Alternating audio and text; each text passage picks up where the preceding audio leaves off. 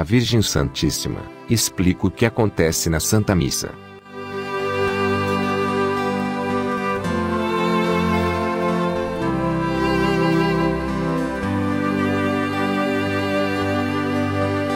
Hoje é um dia de aprendizagem para ti, e quero que prestes muita atenção. Porque, do que fores testemunho hoje, tudo o que viveres neste dia, terás que dar a conhecer à humanidade.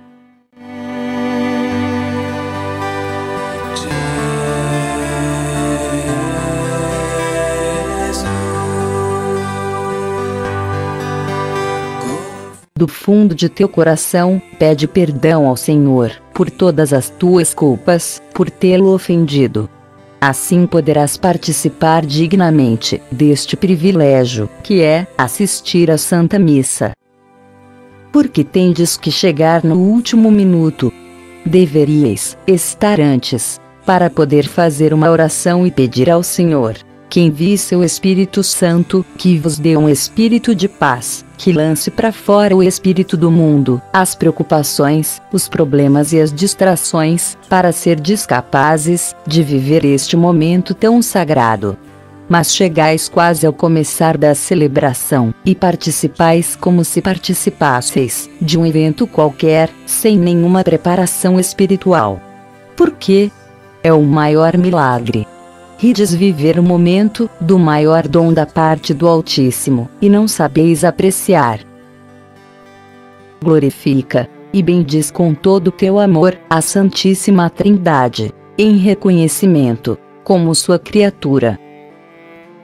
Quero que estejas de atenta às leituras e a toda a homilia do sacerdote. Lembre-se que a Bíblia diz que a palavra de Deus não volta sem ter dado fruto. Se estiveres atenta, ficará algo em ti, de tudo que escutares. Deves tratar de lembrar-te, o dia todo, essas palavras que deixaram marca em ti.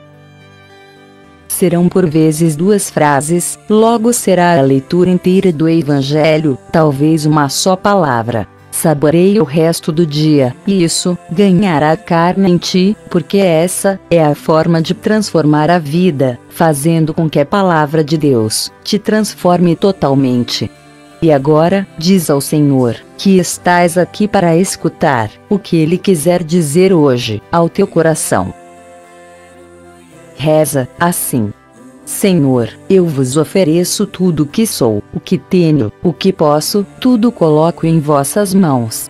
Edificai vós, Senhor, com o pouco que sou. Pelos méritos de vosso Filho, transformai-me, Deus Altíssimo. Peço-vos por minha família, por meus benfeitores, por cada membro de nosso apostolado, por todas as pessoas que nos combatem, por aqueles que se encomendam às minhas pobres orações. Ensinai-me a pôr meu coração no chão para que o caminhar deles seja menos penoso. Assim rezavam os santos. Assim desejo que façais. Observa, são os anjos da guarda, de cada uma das pessoas que estão aqui. É o momento em que vosso anjo da guarda leva vossas oferendas e pedidos ante o altar do Senhor.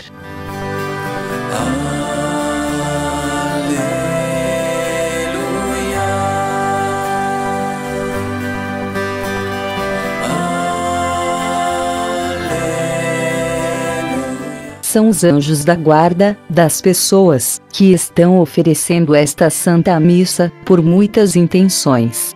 Aquelas pessoas que estão conscientes do que significa esta celebração.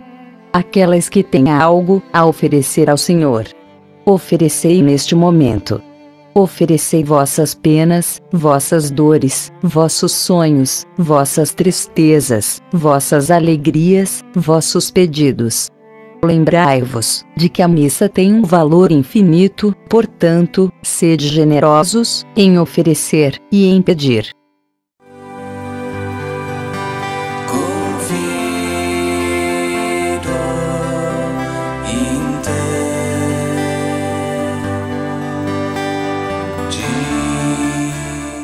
São os anjos das pessoas que, estando aqui, nunca oferecem nada, que não têm interesse em viver cada momento litúrgico da missa, e não têm oferecimentos para levar ante o altar do Senhor.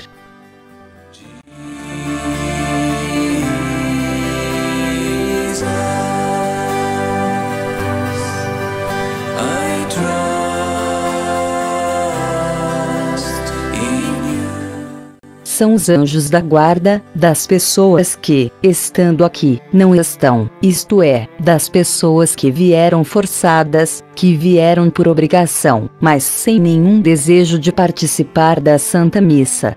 E os anjos vão tristes, porque não têm o que levar diante do altar, salvo suas próprias orações. Não entristeçais o vosso anjo da guarda. Pedi muito, pedi pela conversão dos pecadores, pela paz do mundo, por vossos familiares, vossos vizinhos, por aqueles que se encomendam a vossas orações. Pedi, pedi muito, não somente por vós, mas pelos outros.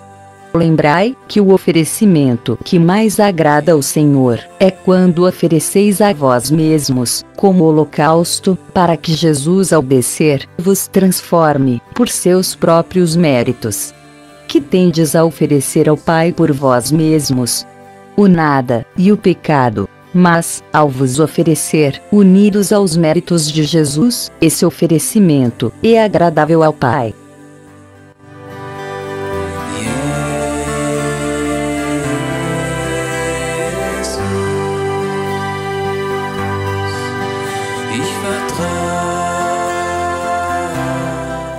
Este é o momento de pedir pelo celebrante e por todos os sacerdotes que o acompanham.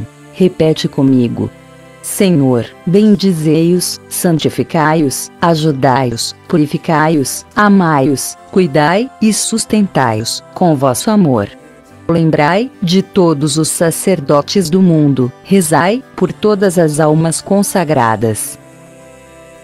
Queridos irmãos, esse é o momento em que devemos pedir, porque eles são igreja, como também somos nós os leigos. Muitas vezes, os leigos, exigimos muito dos sacerdotes, mas somos incapazes de rezar por eles, de entender que são pessoas humanas, de compreender e avaliar a solidão, que muitas vezes pode rodear um sacerdote.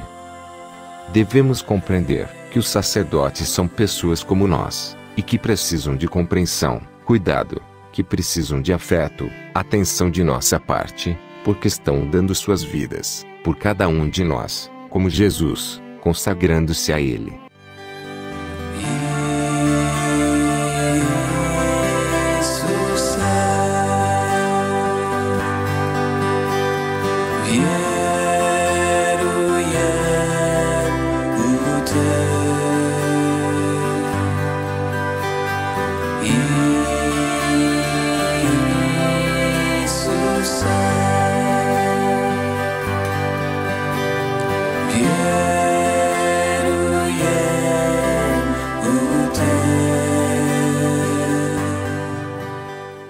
É assim que me comprazo, em abraçar uma alma, que vem com o coração limpo, para me receber.